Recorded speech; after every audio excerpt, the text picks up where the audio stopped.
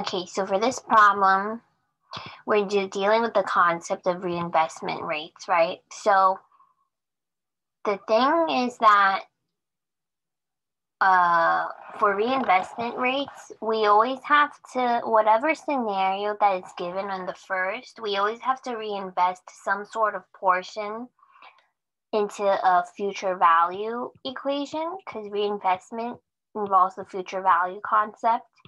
And after we find the future value, we always add on the original par. So those are usually the steps that we need to do involving reinvestment rates. And I'll show you what I mean. So for this one, it says uh, the insurance company needs to pay out a million. And to fund the liability, the company immediately purchased four-year, 5% annual coupons totaling 822,703 of par value. Okay, so we need to purchase, uh, we need to uh, create a reinvestment uh, future value equation that's based upon the amount of coupons that the company purchases. So it, they give us a par value. So we need to find out the amount of coupon given. So to do that, we always take the par value multiplied by the coupon rate.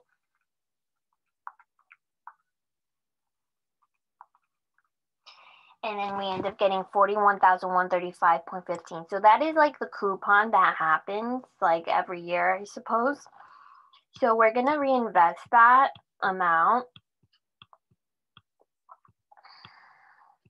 We're going to uh, use the future value since reinvestment is a future value concept. And it also says that it remains constant at 5%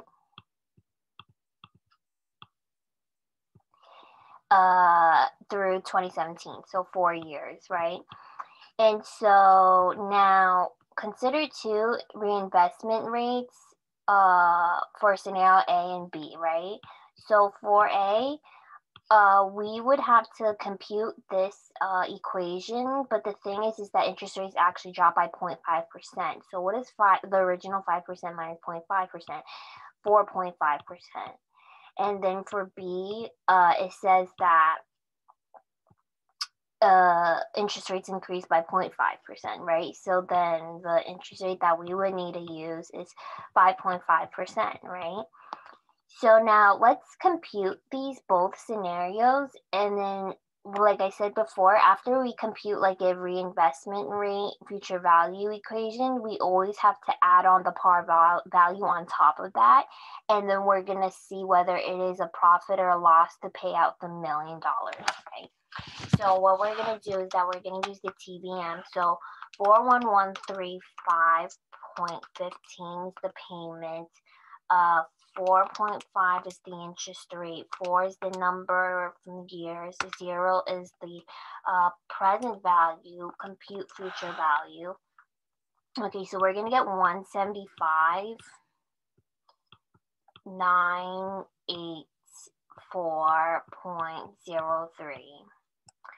Now for this one, we're gonna do, uh, well, let's also add on the par.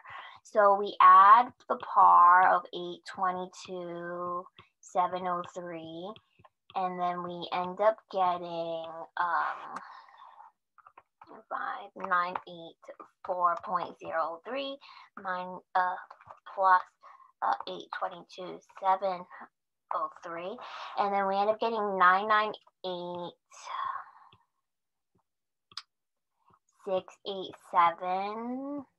687 0.03. Okay, so let's look at the million. I see that there's a loss occurring here because this is a little less than a million.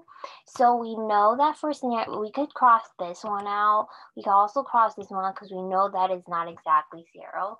But let's subtract both amounts to see how much of a loss it incurs.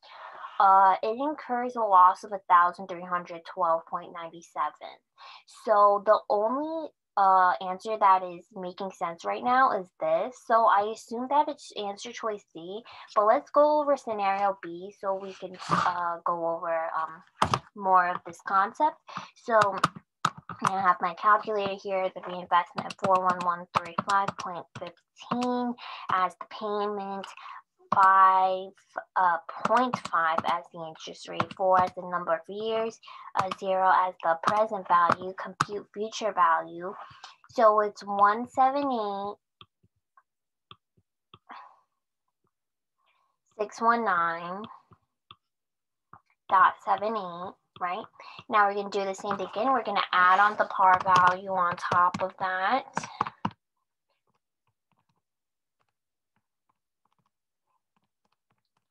We end up getting like we we end up getting uh, a million and then one thousand three hundred twenty two. So that is a gain actually. Let's subtract that by a million. It uh comes out to one thousand three hundred twenty two and seventy eight cents. So again, same over here. So that's why the answer choice is D.